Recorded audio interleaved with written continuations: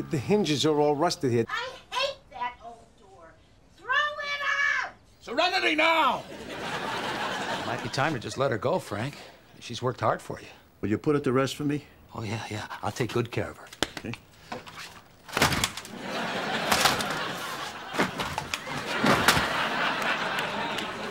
Get George to put those boxes in the garage! Dad, what is all this? It's junk. My computers.